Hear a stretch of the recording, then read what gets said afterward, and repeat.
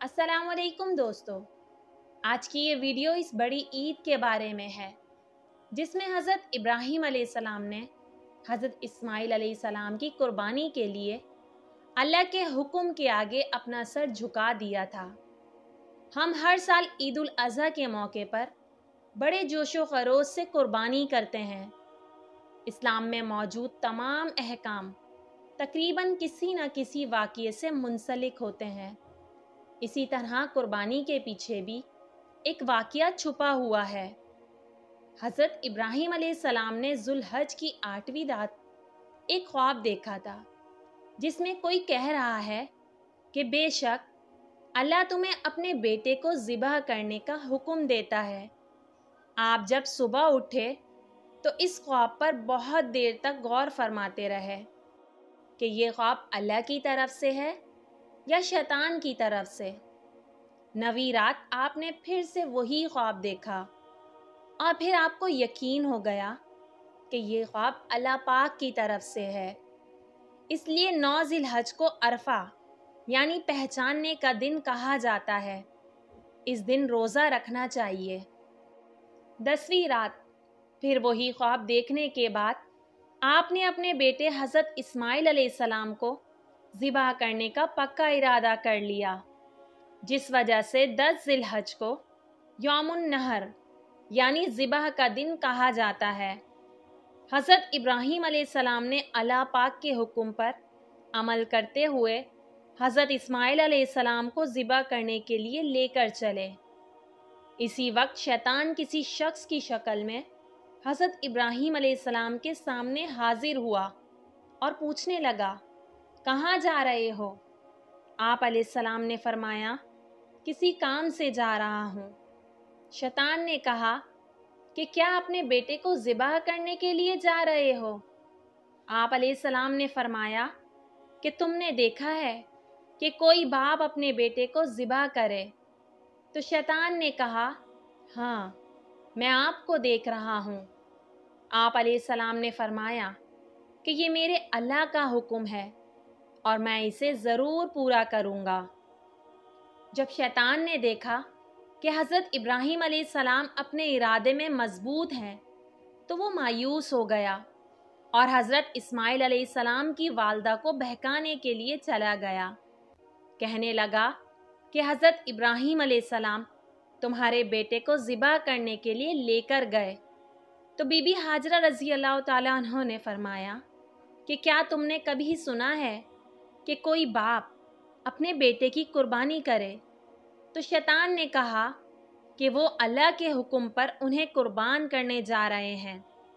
यह सुनकर बीबी हाजरा रज़ी अल्लाह तह ने फरमाया कि अगर वो अपने रब की फर्मा बरदारी के लिए ऐसा कर रहे हैं तो बहुत अच्छा कर रहे हैं। वो यहाँ से भी मायूस होकर वापस चला गया और फिर हज़रत इस्माइल सलाम को बहकाने के लिए चला गया। तब हज़रत इस्माइल सलाम ने फरमाया, मेरे बाबा, अल्लाह के हुक्म पर मुझे कुर्बान करके बहुत अच्छा कर रहे हैं।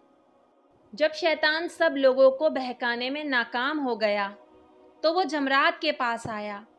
आप सलाम ने उसे सात कंकरियाँ मारी तो वो रास्ते से हट गया। इस जगह से भी नाकाम होकर वो दूसरे जमरे पर चला गया। तो फरिश्ते ने हज़रत इब्राहिम सलाम को कहा कि आप इसे सात कंकरियाँ मारें। तो फिर उसने रास्ता छोड़ दिया। फिर शैतान तीसरे जमरे पर चला गया। तो आप सलाम को फिर हुक्म हुआ कि इसको सात कंकरियाँ मारें। इस तरह शैतान को तीन मकामात पर आप सलाम ने कंकरियाँ मारी। इसी वजह से आज भी तमाम हजाज साहिबान इन तीन जगहों पर कंकरियाँ मारते हैं।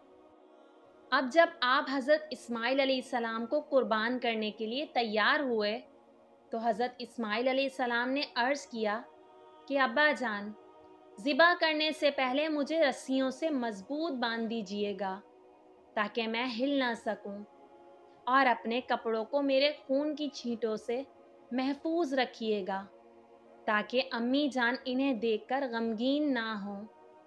छुरी बहुत तेज़ कर लीजिएगा, ताकि मेरी गर्दन जल्दी से कट जाए, क्योंकि मौत बहुत सख्त होती है। और जब आप मुझे कुर्बान करें तो मेरा चेहरा ज़मीन की तरफ़ कर दीजिएगा, ताकि आप मेरा चेहरा ना देख सकें। और हो सके तो मेरी कमीज़ अम्मी जान को दे दीजिएगा, ताकि उन्हें सबर आ जाए। जिस तरह हज़रत इस्माइल सलाम ने कहा, आप सलाम ने उन्हें उसी तरह लेटा दिया और छुरी तेज़ की। उनके चेहरे से नज़र हटा ली और उनके गले पर छुरी चला दी।